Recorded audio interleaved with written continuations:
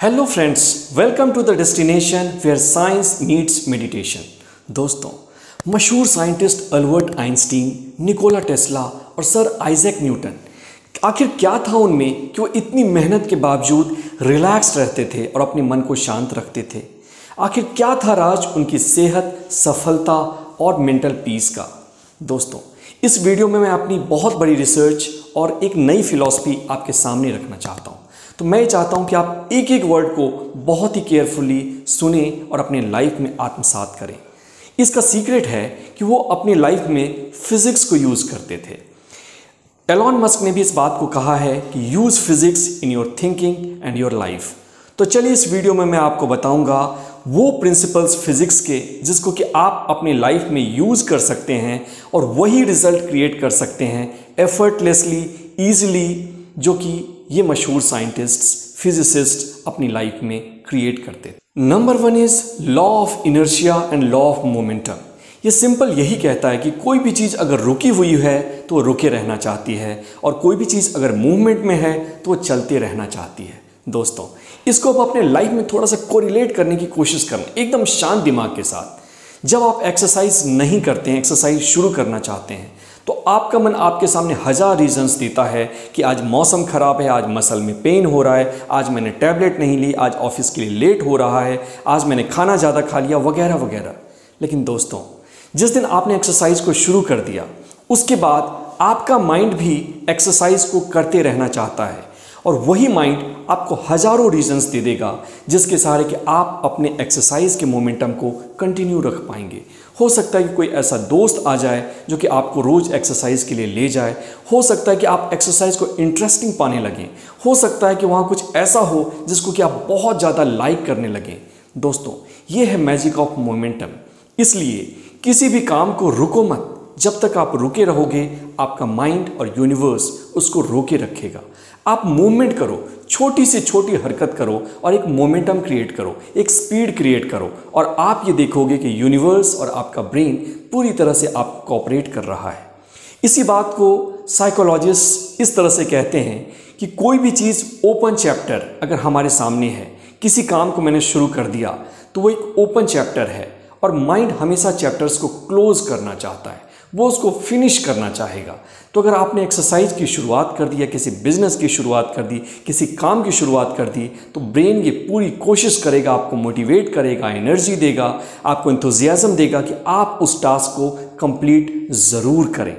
Number two is law of gravity दोस्तों, कोई भी वस्तु अगर मैं यहाँ से छोड़ूँ तो नीचे धरती की तरफ़ फोर्स ऑफ़ ग्रेविटी के कारण गिरना चाहती है।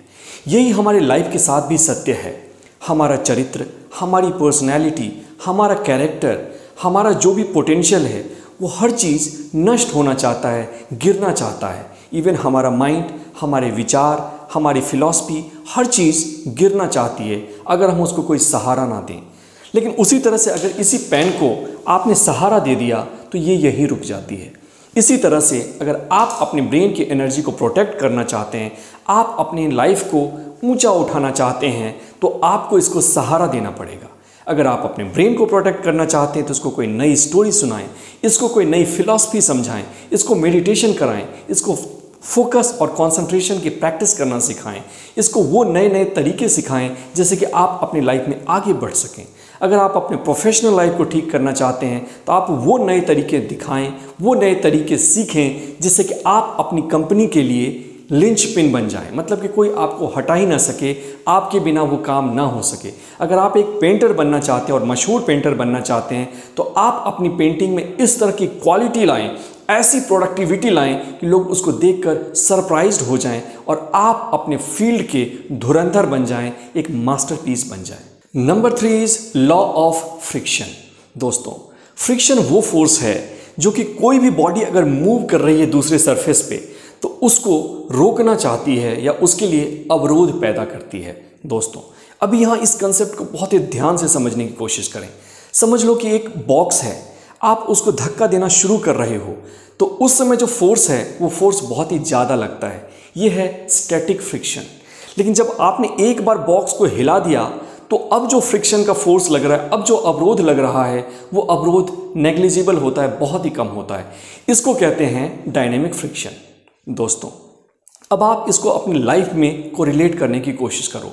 जब भी आप किसी काम को शुरू करना चाहते हैं, आपने देखा होगा कि आपके सामने बहुत सारे अवरोध आते हैं।